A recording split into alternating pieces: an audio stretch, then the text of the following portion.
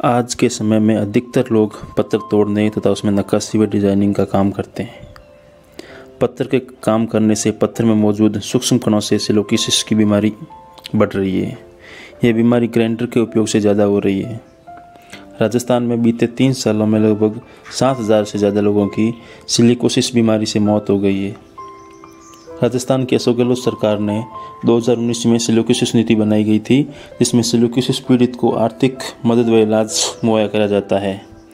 लेकिन जैसलमेर के पत्र के, पत्र में एक्सपर्ट के अनुसार सिलोकिसिस की मात्रा नहीं है। जैसलमेर से प्रताप प्रजापति की रिपोर्ट, news eighteen.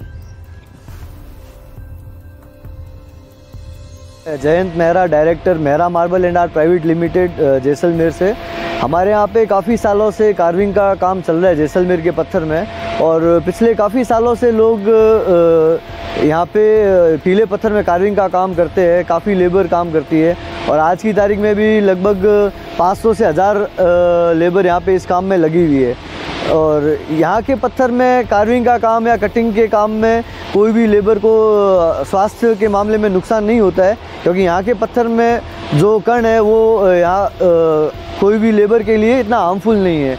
और जिस तरीके से आप देख सकते हैं फैक्ट्री में आजकल अत्याधुनिक मशीनों के साथ में काफ़ी प्रोडक्शन हो रहा है। कार्विंग का काम भी हो रहा है। तो ये एक लेबर के लिए बहुत अच्छा कार्य हो, हो गया है। बाकी जैसलमेर के पत्थर में कोई भी तरीके की लेबर के लिए हानि नहीं है काम करने के लिए। धन्यवाद।